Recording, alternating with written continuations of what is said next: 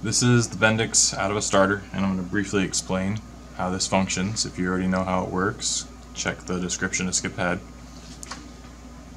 This gear engages with the starter motor, this ring gear engages with the engine's ring gear, and this is a one-way bearing which allows it to spin one way but not the other. There's also a helical shaft which forces the ring gear in and out. Now what actually causes that to happen is when you engage the electric starter motor and it starts spinning it this way, this mass wants to resist being accelerated. Objects at rest, they want to stay at rest, and I can simulate that by holding it steady, spinning the electric motor gear, and it gets pushed out. Again, like that. Now, once it's engaged with the engine, the engine's ring gear, the resistance, which I'm still simulating with my fingers by resisting spinning it, hold this ring gear out. Now, once the engine starts, that resistance goes away and the engine's actually going faster than the starter motor.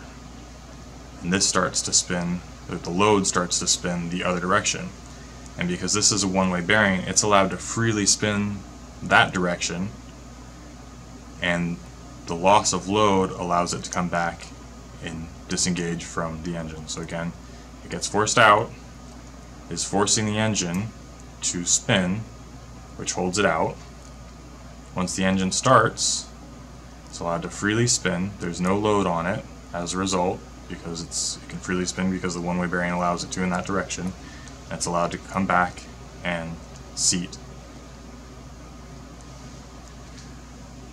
Now the difference from a normal starter Bendix and this one are these collars back here.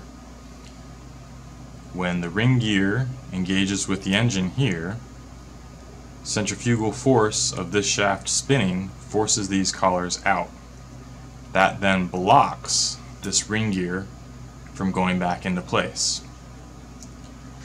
That's necessary because when our engines get to top dead center, the compressed air actually pushes them back down faster than this starter is spinning.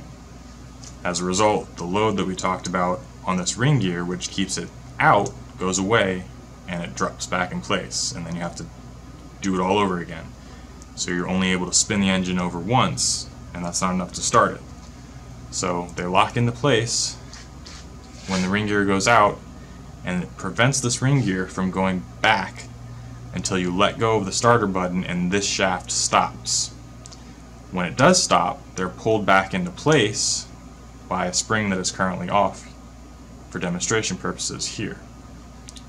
Alright, so the basic order of operations here is you start the starter motor spinning, the resistance of this part to accelerating forces it out, the centrifugal force of the starter motor shaft spinning here forces this collar out, locking it in place. As it spins the engine over, like this, the engine starts, the load here changes directions and this just free spins. You let go of the starter motor, this spins down and these collars get pulled back into place and it allows it to drop back down. What pulls the collars back into place is this spring which is out for demonstration purposes.